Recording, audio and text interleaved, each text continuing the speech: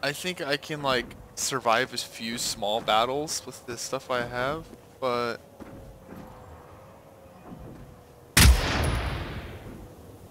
let's see what this thing does. Oh no.